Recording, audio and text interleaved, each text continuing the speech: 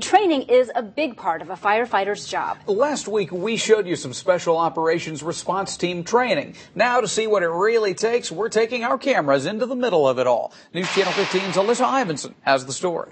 High angle rope rescue is calculated and complicated.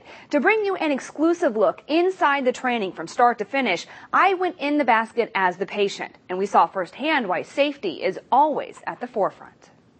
Blue. The Special Operations Response Team, or SORT, is ready to respond to difficult rescues. Yeah. Like trench cave-ins, structural collapses, or from towers or grain bins. I did a carabiner with a clove hitch and tightened up tight.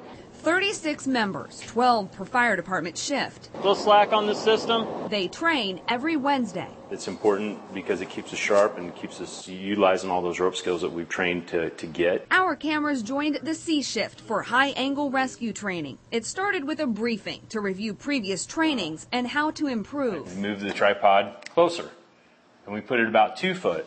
For this exercise, the objective was to lower a patient in a basket from the top of the Rousseau Center to the roof of the parking garage. After hauling up all the equipment, we're running all the uh, main and belay lines off of this giant leg. The setup begins. Those are absolutely the two pillars that we've been using. It's methodical and precise, making sure every rope, pulley, and knot is in place and secure.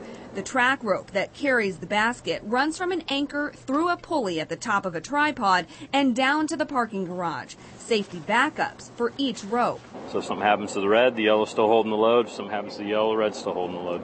Once the tension in the track was tested, it was time to load me in the basket. We're getting ready to put her over the edge. The ride down was smooth. From my viewpoint, I couldn't really tell how high we were, but a sky cam shows us gliding through the air. Blue is lowering and the white is just a backup for that. So there's redundancy after redundancy. Once at the bottom, the crew pulled us back up.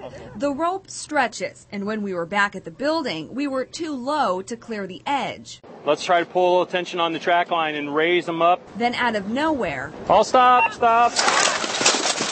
The tripod toppled. This white line right here was what failed. That was to keep the tripod from tipping over. That rope didn't work the way it was supposed to and the tripod tipped.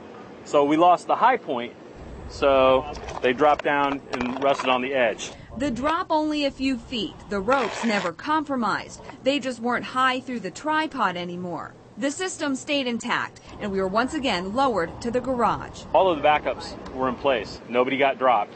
She got lowered a little bit, right? A couple, two, three feet, but she's safely down on the ground right now. We don't like contingencies to happen during the training sessions there's nothing more valuable than that.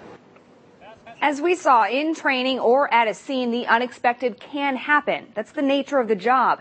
That's also why firefighters always have extra precautions in place because it's not just about the rescue, it's about the safety of everyone involved. Alyssa Ivinson, News Channel 15.